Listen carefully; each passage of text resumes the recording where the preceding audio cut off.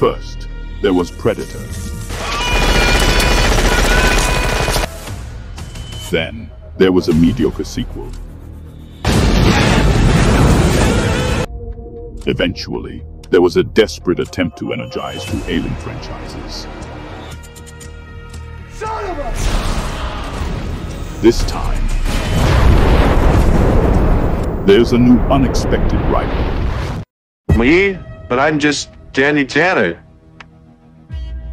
Ladies and gentlemen, I'm here with breaking news the Earth is under attack by predator aliens, and humanity's survival hangs in the balance. The predators have offered a deal. One person must be selected at random to represent the human race in a one-on, one battle to the death against a predator.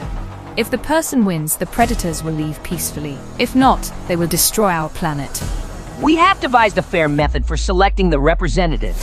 A raffle will be held, and whoever has the winning number announced must face the predator in combat. Uh, what's that? You are Absolutely screwed. Danny Tanner? What's he gonna do? Chill with window cleaner? He's a reluctant hero who must join the fray and save humanity. Gee, I just don't know if I'm going to get out of this one, guys.